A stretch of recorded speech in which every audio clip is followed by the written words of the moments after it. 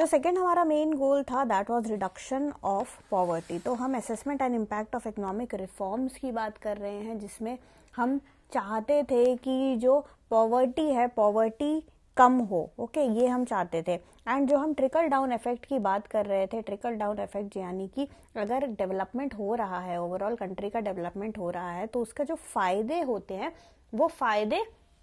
should trickle down and reach to all sections of our society जितने भी हमारे, चाहे वो रिच हो, चाहे पुअर हो, चाहे मिडिल क्लास के लोग, कोई भी हो, सब तक जो वो जो डेवलपमेंट का जो इफ़ेक्ट है, वो पहुँचना चाहिए। अगर डेवलपमेंट का इफ़ेक्ट सब तक नहीं पहुँचा तो वो जो है डेवलपमेंट ही नहीं रहा। वो क्या ही डेवलपमेंट है ओके तो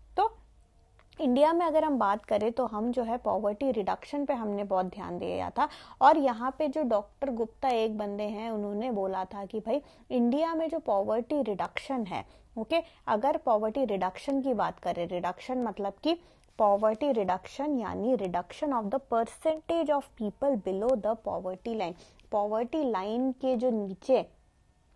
जो जितने लोग हैं, उनका रिडक्शन कितना हुआ? तो अगर हम डेटा से ये समझे तो 1983 1990 91 ओके 1983 टू 1990 91 का अगर हम डेटा देखें तो this was around 3.1 percent per annum but but ये जो है, ये डेटा जो है 1990 to nineteen and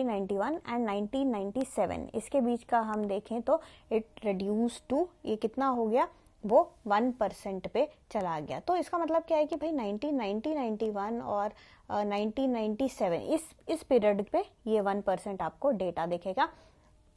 एंड अगर हम बात करें पॉवर्टी परसेंटेज की, पॉवर्टी परसेंटेज की अगर हम बात करें, पॉवर्टी परसेंटेज अगेन वही पीपल जो, कितने लोग जो है वो रहते हैं पॉवर्टी लाइन के नीचे तो वो इनफैक्ट कम, देखो कम होना चाहिए था, बट वो कम ना होके वो क्या हुआ? वो इंक्रीज हो गया ओके सो so, वो कम ना होके वो इंक्रीज होता चला गया। एंड इंक्रीज होके क्या किया? वो poverty percentage it increase from 35.7 to 37.23 तो ये फिगर जो है ये आपको इंक्रीज्ड फिगर यहाँ पे देखने को मिलेगा। इसके बाद एक है वर्ल्ड बैंक के doctor Gaurav Datt. So doctor Gaurav Datt ने क्या किया? उन्होंने जो है doctor Gaurav Datt World Bank के यहाँ उन्होंने एक आर्टिकल लिखा था। दिस आर्टिकल वॉज़ रिगार्डिंग कि has poverty decline since economic reform तो इन्होंने भी वही सवाल पूछा था कि भाई, अगर हम पॉवर्टी की बात करें और इकोनॉमिक रिफॉर्म्स की बात करें इकोनॉमिक रिफॉर्म्स का पीरियड आपको पता ही है 1991 ओके तो इसके बाद और इससे पहले क्या रिफॉर्म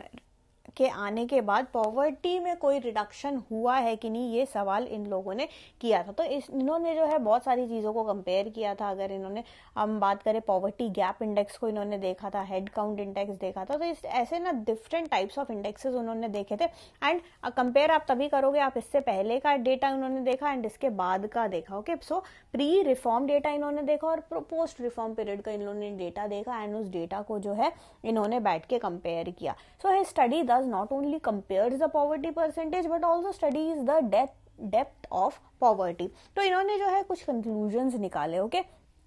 इन्होंने कंक्लूजन में सबसे पहला कंक्लूजन यही निकाला कि जो मिड 1980s का जो दौर था ये मिड 1980s का दौर जो था it seem to be a significant watershed in the evolution of living standards in India. While there was a marked decline in both rural and urban poverty rates between 1973 to 74 and 86 to 87, there is no sign of anything comparable now. So,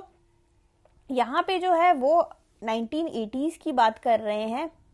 जिसमें वो ये बोल रहे हैं कि भाई उस दौरान जो है आपको जो है डिक्लाइन देखने को मिला था ओके इस दौरान आपको डिक्लाइन आपको देखने को मिला था बोथ इन चाहे हम अर्बन पॉवर्टी की बात करें, चाहे हम रूरल पॉवर्टी की बात करें ओके दोनों में जो है आपको जो है काफ़ी ज़्यादा डिक्लाइन आपको यहाँ पे देखने को मिला था। एंड ऐसा जो है, ऐसा कंपेयर करने के लिए आज के पास अभी फ़िलहाल तो देखो हमारे पास डेटा की अगर हम बात करें तो डेटा में अर्बन और रूरल में आपको नाइन उस दौरान डिक्लाइन देखने को मिला था। और अगर हम सेकेंड पॉइंट की बात करें सेकेंड इंपॉर्टेंट कंक्लूजन जो था,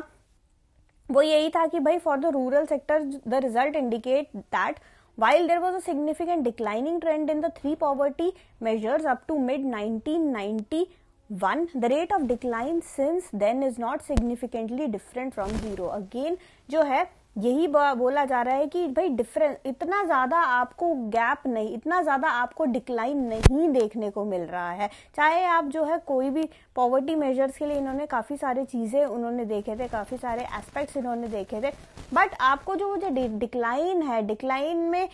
क्या इतना ज़्यादा गैप आपको देखने को मिलेगा? ज़्यादा आपको गैप जो है यहाँ पे देखने को नहीं मिल रहा। अगेन हम अगर बात करें अर्बन सेक्टर की तो अर्बन सेक्टर में भी जो रिज़ल्ट जो था जो डिक्लाइनिंग ट्रेंड तो जो था, जो हम तीन पॉवर्टी मेजर्स को ले रहे थे, वो प्लस प्री और पोस्ट दोनों में अगेन यहाँ पे आपको ज़्यादा डिक्लाइन नहीं देखने को मिला। सो so, अगर हम रूरल सेक्टर की बात करें सेकंड पॉइंट में हम अगर रूरल सेक्टर की बात करें थर्ड पॉइंट में अगर हम अर्बन सेक्टर की बात करें कोई भी तरीके का सिग्निफिकेंट डिफरेंस आपको जो है यहाँ देखने को बिल्कुल भी नहीं मिल रहा। And fourth important conclusion was that while the urban sector appears to have a continued its trajectory of growth and poverty reduction throughout the nineteen